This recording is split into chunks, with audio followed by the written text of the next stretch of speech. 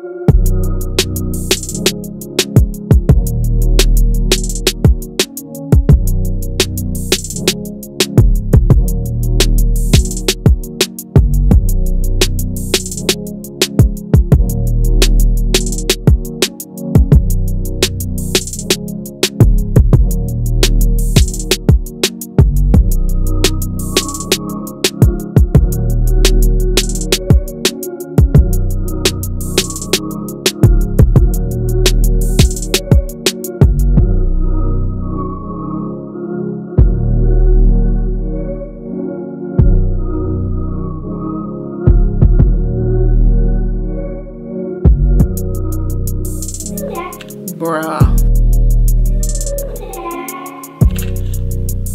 Bruh.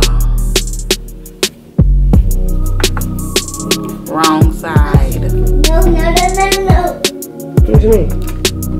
Ripper. Let me see. What you mean you did on the wrong side?